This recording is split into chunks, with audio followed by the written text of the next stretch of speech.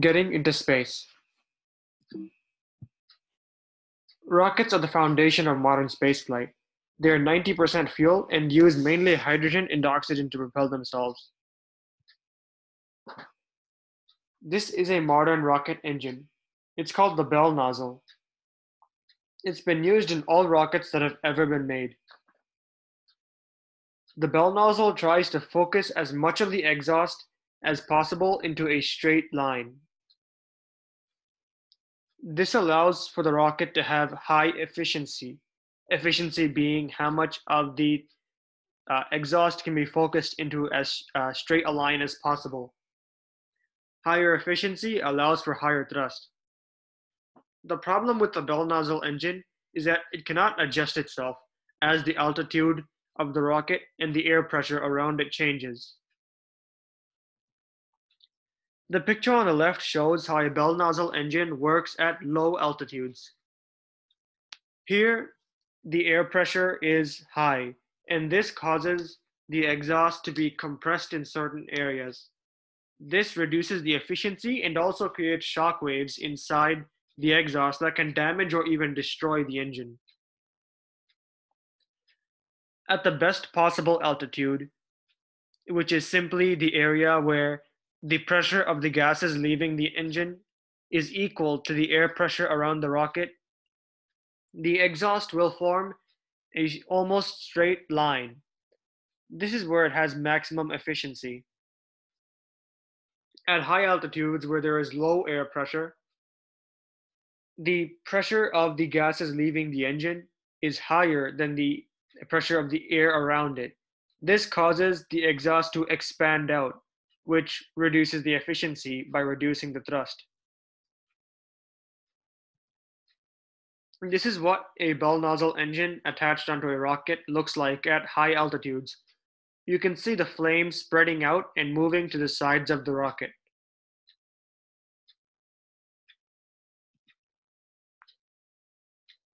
Rockets go through different stages.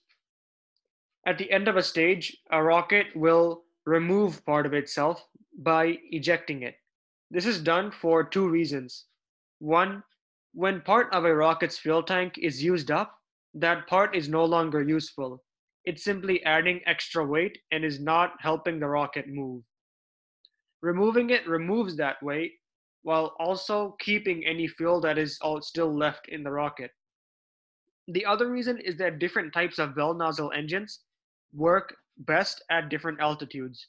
For example, a small bell nozzle engine will work well at low altitudes because it's not as good at focusing gases. As a result, the exhaust will be compressed well and a, the line will be as straight as it can be. At high altitudes, however, since the small engines cannot focus the exhaust well, the exhaust will quickly spread out. A larger engine, however, is better at focusing gases. This would not work well at low altitudes because the gases would be compressed and would form into an extremely into a much thinner line that would be somewhat uneven and would form shock waves. At high altitudes, however, the ability of the large bell nozzle to compress or to focus gases would be able to somewhat balance out the effects of the low air pressure around the rocket. This is a potential solution to the problems presented by the bell nozzle engine. This is called the aerospike engine. It's been around for decades now and is a highly efficient type of rocket engine. The problem with the aerospike engine is that it simply has not received enough money to be installed onto rockets yet. Despite that, it is still a very promising engine.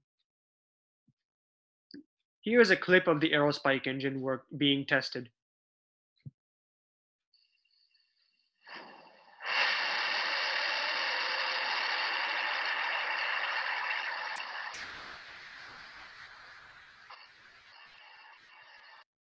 This may not look very different from a normal bell nozzle engine, or at least the exhaust may not look very different since it is very close up. However, it differs from the bell nozzle in some fundamental ways. Whereas a bell nozzle will often work against the air pressure, or at least the air pressure will work against the bell nozzle, the aerospike engine uses the air pressure itself to maintain high efficiency. At low altitudes, as shown by the picture on the left, the high air pressure will squeeze the thrust, will squeeze the exhaust near the body of the aerospike. However, here it is due to the shape of the aerospike and the way the exhaust leaves it. This compression is done without creating an uneven shape and without creating large shock waves. This allows the rocket to keep high efficiency by focusing everything into a thin and mostly straight line. At the best possible altitude, where the pressure of the gases is equal to the air pressure, it will work, the aerospike will work in a similar way to the bell nozzle. The exhaust will come out in a straight line. At high altitudes with low air pressure, there will be shock waves that form from recompression in the engine. However, these shock waves, instead of damaging the engine like with the bell nozzle, will actually prevent the exhaust from spreading out in the aerospike engine. This allows the engine to maintain a mostly straight shape and will allow it to keep high efficiency. A major revolution happening in the aerospace industry right now is the reusable rocket. The reusable rocket is simply a rocket that can be partially or completely reused after being launched. It will do its job in space and will come back and land back on the ground. This is important because until now, rocket launches are have been extremely expensive because every new rocket launch would require an entire new rocket to be built. With reusable rockets, however, the same rocket can be used many times again, which would greatly reduce the cost. Reusable rockets are also very accurate in their landing. They can land on very small areas. Here, a rocket made by SpaceX is landing on a pad in the ocean.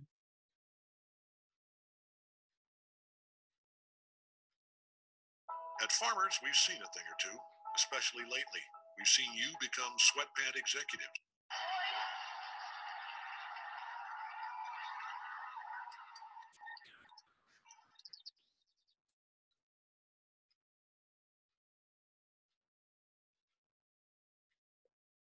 This shows SpaceX is a private company. The fact that a private company has been able to create this shows that larger government programs can also accomplish this. And once reusable rockets become commonplace, the costs needed for space travel and getting items into space will be greatly reduced. It will allow for more operations to be carried out. There are many, many different space agencies run by many countries. However, the most well-known ones, the largest and most well-known ones, are run by the United States of America, the European Union, China, Japan, Russia, and India. In recent times, we have also seen private companies like SpaceX and Blue Origin joining in into informing space programs. There are there are more space agencies run by other countries, but they are not as large or well accomplished as these. This is the logo, for NASA, the National Aeronautics and Space Administration. This is the logo for the Chinese National Space Administration. This is the logo of the Indian Space Research Organization. This is the logo of the European Space Agency. This is the logo of the Japanese Exploration Agency. This is the logo of Roscosmos, the Russian space agency. This is the logo of SpaceX. And this is, this is the logo of Blue Origin. another new private space company. That is the content of this video. This video has mostly been about new advancements being made in uh, space travel, in, mainly in rocket engines, what is being used in rocket engines right now, and how two different types of rocket engines will work. I hope you found this video useful. And there will be more like these soon.